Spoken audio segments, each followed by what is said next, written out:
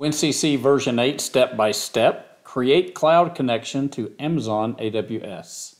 In this section, we're going to set up an AWS account with an IoT core service, and we're going to set up certificates for this and assign policies to receive our WinCC data from the cloud. Then in WinCC, we're going to enable our cloud service and we're going to configure a connection with our account information and certificates. Finally, in tag management, we're going to set up some of our tags to automatically push data to the cloud on timed intervals. We will test in runtime using the MQTT test client on AWS. We have a subscription to a certain tag, and when that tag changes values, we're going to see the data come in. So if this is interesting to you, stick around and let's get started. So I'll post the URL to this, but the Siemens support site has posted an entry on how to connect to the cloud using WinCC Cloud Connector. More importantly, there is a PDF that you can download that goes over it in detail, and it does cover how to connect to Amazon Web Services as well as Microsoft Azure and MindSphere. So you might want to download and take a look at this.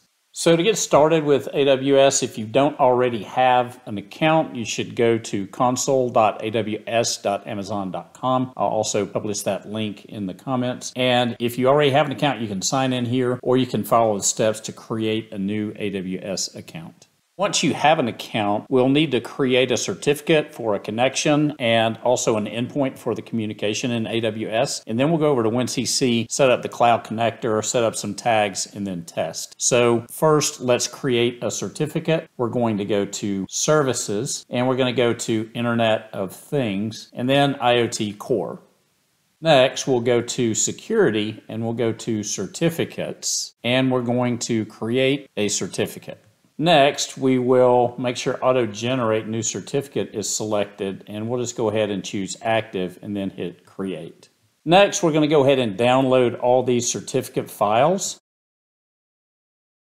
and we're going to save them on our computer. So all these are saved right now in our downloads folder, so we'll be able to access these. Then we're going to hit continue. And now we have a certificate generated and we're just going to click on this and we are going to download this certificate.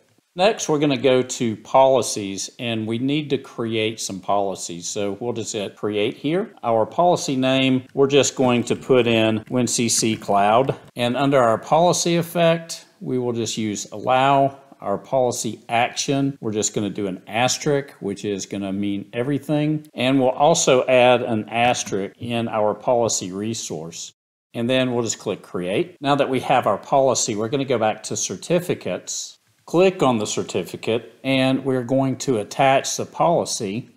And there's our WinCC cloud policy, and we will attach that. So once we have our policy attached to our certificate, we're going to scroll down and go to settings. And this is going to be our endpoint to access the AWS cloud service. So we're going to click the copy endpoint so that we'll have it in our clipboard. Next, we're going to go to WinCC and configure the cloud services there.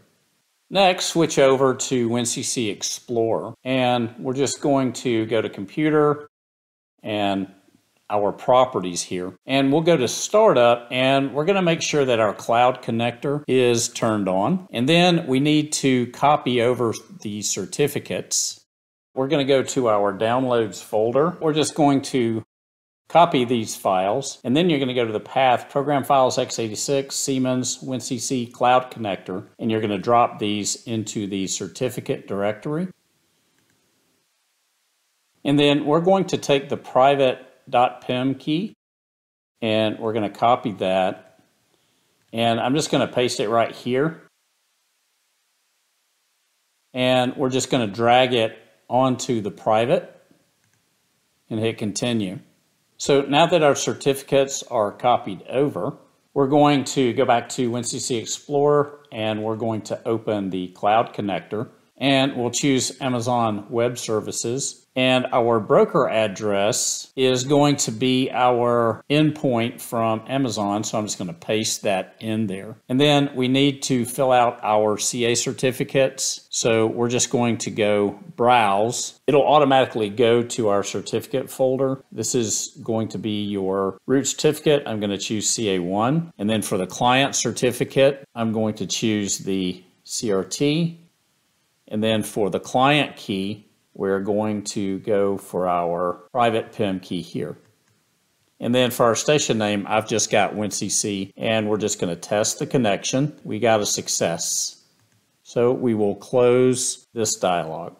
So finally, we need to configure our tags that are going to be sent. So I'm just going to open Tag Management and I will navigate to our color tags. Now we need to enable sending this to the cloud for the tags that we want as well as the cycle. You may notice that as we click on these, you've got your cloud settings down here. If you've got a lot of tags that you want to set, then you might want to go to unhide cloud and also Cloud Cycle. That way you can see these in the workspace area. It might be easier. I want to do my mix tank level. I'm going to enable that at five seconds, and then I'll just do my color strengths as well.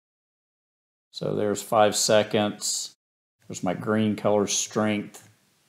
I'll set it at five seconds. And then there's my blue color strength. So now these tags are configured to be sent to my cloud service on AWS when they change when we go to runtime. So the next step is to just go to runtime.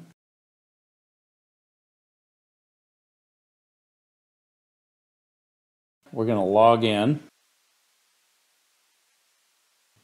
And then we're going to go back over to AWS to our IoT core and we're going to go to MQTT test client. If we want to subscribe to say the tank level tag, then we are going to put the station, which is going to be WinCC. We're going to do a forward slash.